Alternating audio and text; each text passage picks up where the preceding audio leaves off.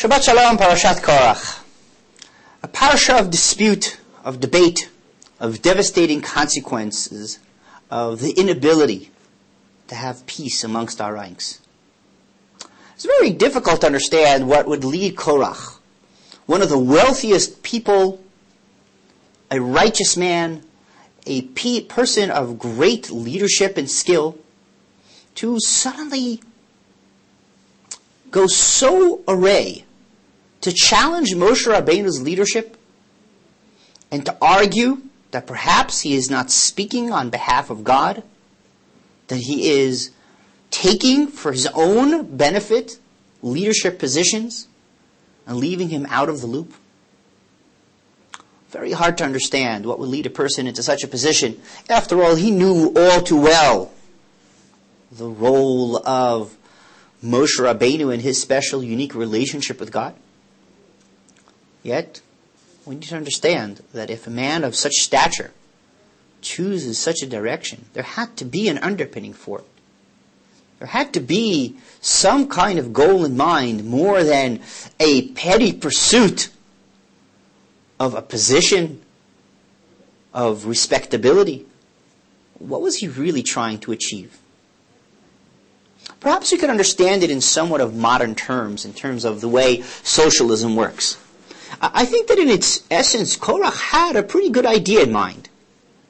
After all, he argued, why are we setting up a religious and judicial system in which there are ranks, hierarchies?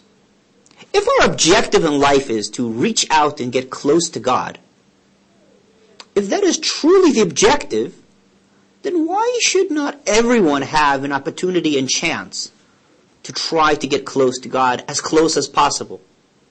In fact, Moshe Rabbeinu argued this very point. Two weeks ago, when Eldad Medad, the two leftovers from the 72 elders that were picked, were left in the camp and not included in the 70 elders, the Torah tells us that they suddenly had prophecy. And they were giving prophecy independently in the camp. Yehoshua demanded having to have these people locked up right away. And Moshe, calming him down, says to him, Oh, it would be wonderful. how Halavai, every single person in this nation should merit to receive prophecy. We should all raise to such holiness. That would be wonderful. Isn't this what Korach is arguing? Ki kol ha'ela kulam kedoshim. We are all holy. And if we are all holy, we all should have the right to take on positions to reach out to God? Notice what you've created, Moshe Rabbeinu. You've created social classes. There are Israelites, there are Levites, they are Kohens. We are not allowed to enter without specific instruction into the temple. Even within the temple, there are areas that are no man zones. We need to get your permission for every type of approach that we want to have to God. This is not right. Yes, I understand if you think that temporarily you need to be able to teach us and lead the way, but why are you setting it up in such a way that we will never be able to climb up the ladder of holiness? Why shouldn't every person be able to do what Aaron does? If we want to reach higher up, why shouldn't it be able to? Well, in many ways, what Korach was advocating might have been a nice ideal in a utopian world, but he did it in a way that is no different than the way the French Revolution was handled. Well, gee, we don't like the fact that all of the power is in the hands of the aristocracy, so we're going to use the power of the people and demand that the leadership is given back to the people. But we know all too well what happened if we give the leadership to the riffraff, to people that are inequipped, to people that are ill trained, to people that don't master up to the requirements of true leadership, they very quickly become no better and perhaps far worse than the monarchy that was there before them. Korach goes to recruit assistance from the lowest of the low. Yes, of course, he does this in the guise of presenting the 250 people that were all truly righteous people that wanted to excel, that wanted to reach higher up. But the real power base were those that were as far as humanly possible from being worthy of true leadership positions, from being worthy of holiness. Is it true to say that we were all that we are all holy? I would say no. I would say it would be a wonderful ideal to achieve holiness in the entire people. But let's face it, not all of us could do it. Even if we're able to reach out to a degree of holiness for a brief moment, we can't sustain it. You need to be on a very high level to be able to accomplish that. Korach refused to see that. Now for itself, if he was arguing just a social agenda, if he was trying to argue the achievement of a utopian environment, it would be okay. But Korach completely lost sight of his objective and went down a very, very dangerous road. The reason Korach needed to be eliminated was not just because he created a debate, a dispute over the leadership of Moshe. It wasn't just a social agenda here. There, were, there was a fundamental religious danger that almost could have caused an entire collapse of the Jewish religious system. The Midrash tries to depict to us what the outcome of Korach's argument would have been. In describing to us a Midrash that, in a Midrash, the argument that Korach represents. It says that Korach presented two questions to Moshe Rabbeinu. Last week, at the end of the parsha, we learned about that special thread that runs through our tzitzis, the techelet. A single thread that runs through each one of the four corners of our garments the Ptil Tchelet. Says Korach to Moshe Rabbeinu, tell me something. If one has the ability to weave an entire talis, the entire garment is woven from this Tchelet thread, an entire talit of Tchelet, does it still require having a single thread of Tchelet coming out from its corner? Moshe Rabbeinu said, yes, absolutely. That is the commandment. So said, aha, if that's the case, if I have a house that is full of scholarly books, Torah scrolls, from corner to corner, I have books filled with the, filled with the Word of God. Does this type of a house still require a mezuzah on the doorpost? After all, is it not superfluous? Is it not repetitive? Says Moshe Rabbeinu, indeed it does require a mezuzah. Says to him, Korach, if that is the case, I believe that you are making all of this stuff up. That's where Korach became very dangerous.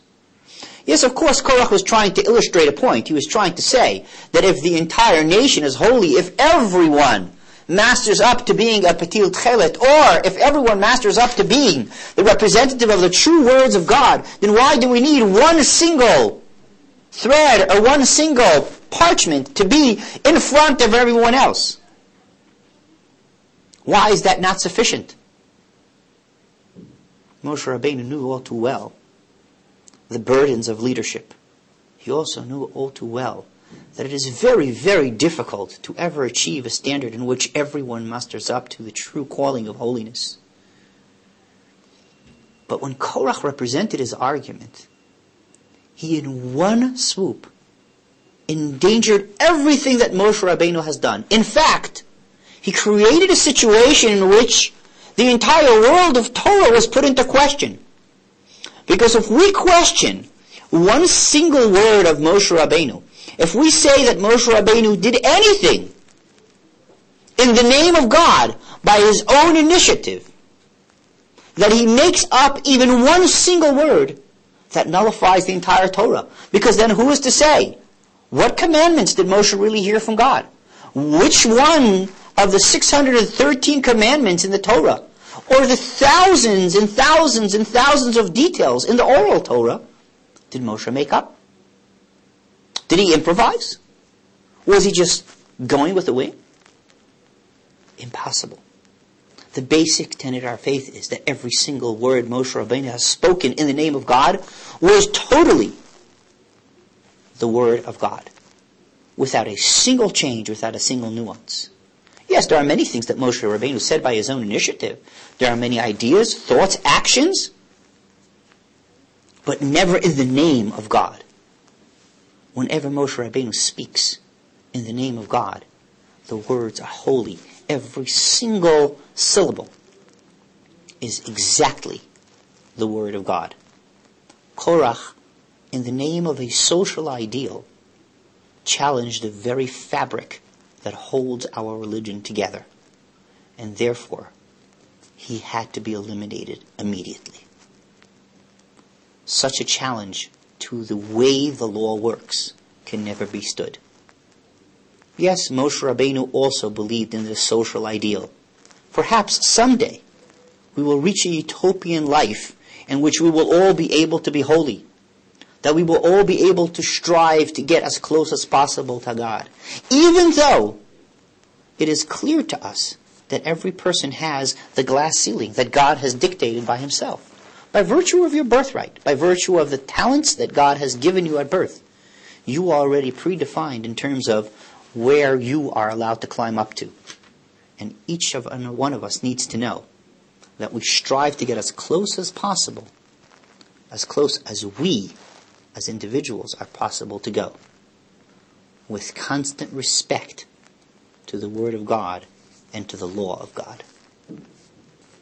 At the end of the day, peace is what binds us together. Peace between us. Careful listening to one another. Careful caring for one another. And this is the answer that Moshe Rabbeinu gives Korach. He turns to God and said, I have never taken even a single shoe lace from these people. Nothing. I have never taken anything from any of these people for my own personal benefit. I am dedicated totally, totally and wholly to the Word of God and to the service of these people. And because of that, God, you need to step in over here.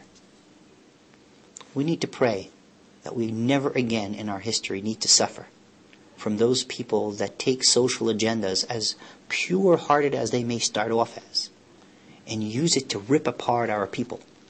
And we shall never again be challenged by people in our leadership who disregard the outcome of their actions in order to be able to advance their own personal agenda. Shabbat Shalom.